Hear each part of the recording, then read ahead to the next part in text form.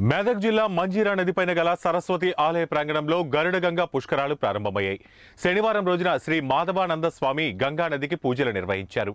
ఈ గరుడగంగా పుష్కరాలలో ఎమ్మెల్సీ సుభాష్ రెడ్డి దంపతులు గంగా నదిలో పుణ్యస్నానం ఆచరించి అమ్మవారికి పూజలు నిర్వహించారు.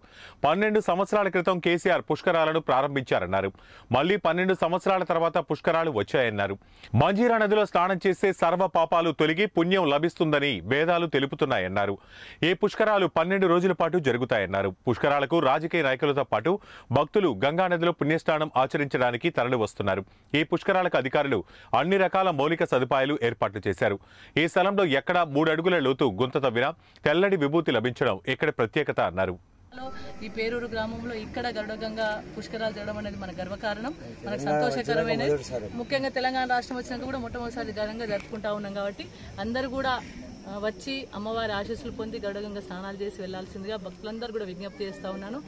తప్పకుండా తప్ప- తప్పకుండా ప్రజాప్రతినిధులు అందరుగా అందరినీ కూడా తీసుకొచ్చి ఇక్కడ ఈ పుణ్యనదిలో స్నానం చేయడం కోసం అందరం కూడా కృషి చేస్తాం. మంజీరా పుష్కర ప్రారంభోత్సవం అత్యంత వైభవ ఘనోపేతంగా శ్రీ శ్రీ శ్రీ మాధవానంద సరస్వతి స్వాముల వారిచే ఈ యొక్క గరుడగంగా మంజీరా పుష్కర ప్రారంభోత్సవం జరపబడింది ప్రారంభించబడింది. భగవద్భక్తులందరూ కూడా ఈ యొక్క పుష్కర స్నానము చేయండి పునీతులు కండి.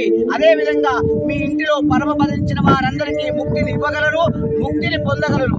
మీద పుష్కరాల కార్యక్రమంకు ప్రారంభమైంది పుష్కరాల కార్యక్రమం. గత పన్నెండు సంవత్సరాల క్రితం తెలంగాణ ఉద్యమం ప్రారంభమైన తర్వాతనే తెలంగాణలో కూడా అన్ని నదులకు కూడా పుష్కర కార్యక్రమాలు చేయడం జరిగింది.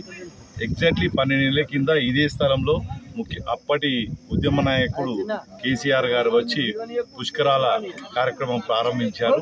మళ్ళీ ఇవాళ నాతోటి కూడా మా అయ్యగారు చేయించడం కూడా నేను పూర్వజన్మ సుకృతంగా భావిస్తున్నాను. ఖచ్చితంగా ఏవైతే